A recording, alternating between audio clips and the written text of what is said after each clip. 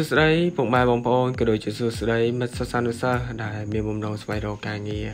ហើយក៏ដល់សួស្តីទៅដល់បងប្អូនទី12ដែលទឹមតែទទួលបានលទ្ធផលពី3ថ្ងៃនេះហើយសម្រាប់បងប្អូនណាដែលទទួលបានលទ្ធផលល្អក៏ខិតខំផឹងប្រែងបន្តទៀតសម្រាប់តរៀនបញ្ញាបត្របន្ថែមហើយសម្រាប់បងប្អូនណាដែលទទួលបានលទ្ធផលមិនបានល្អទេអញ្ចឹង admin ក៏សូមលើកទឹកចិត្តឲ្យ បងប្អូនខិតខំផឹងប្រែងសិក្សាឡើងវិញហើយអាចថាយើងតទៅស្វ័យរិនក៏បានឬក៏យើងអាចនឹងតបញ្ញាបត្ររងក៏បានដែរ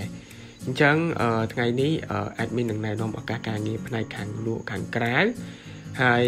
សម្រាប់គេជ្រើសរើសចំនួន4នាក់យើងជ្រើសរើសមនុស្សប្រុស2នាក់ហើយនិងមនុស្សស្រី2នាក់ ហើយនៅនោះគេទៀមទាបទពិសោធន៍គឺយើងត្រូវមានបទពិសោធន៍ផ្នែកខ្សែខ្លះខ្លះអាចយល់ដឹងពីផ្នែកខាងខ្សែទៅ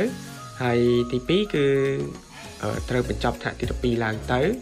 ហើយមានភាពរួសរាយរាក់ទាក់ឧស្សាហ៍ព្យាយាមមានទំនួលខុសត្រូវខ្ពស់ជាមួយនឹងការងារទទួលបាន commission បន្ថែមទៀតទទួលបានប្រាក់ខែទី3ហើយនឹងទទួលបានប្រាក់រង្វាន់អឺជាបុគ្គលិកចុះតាមខែសម្រាប់លក្ខខណ្ឌ សម្រាប់លក្ខខណ្ឌការងារគឺទីតាំងនៅផ្លូវ2004អូបែកក្អមហើយម៉ោងធ្វើការងារចាប់ពីថ្ងៃច័ន្ទរហូតដល់ថ្ងៃសៅរ៍ហើយថ្ងៃសៅរ៍យើងធ្វើការងារតាមព្រឹកទេម៉ោងធ្វើការងារចាប់ពីម៉ោង8ព្រឹករហូតដល់ម៉ោង12ពីម៉ោង2រសៀលដល់ម៉ោង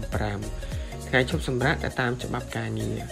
ហើយបើសិនជាពុកម៉ែបងប្អូនឬក៏មិត្តសិស្សនិស្សិតចង់ដឹងព័ត៌មានលម្អិតបន្ថែមក៏អាចទំនាក់ទំនងបានតាមរយៈលេខទូរស័ព្ទ096 660 4912ឬក៏អាចផ្សាយ CV តាមរយៈ email នៅក្នុង poster ខាងលើ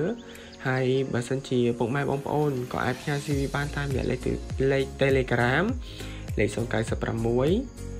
960 4912 អញ្ចឹងគណៈពេលនេះ admin ក៏សូមឲ្យពុកម៉ែបងប្អូនកុំភ្លេចណាជួយ like និង subscribe channel ពិភពនៃការងារដើម្បីទទួលបានឱកាសការងារថ្មីៗដែល admin នឹងផុសជាប្រចាំថ្ងៃពេលនេះ admin ក៏សូមអរគុណសូមគោរពលា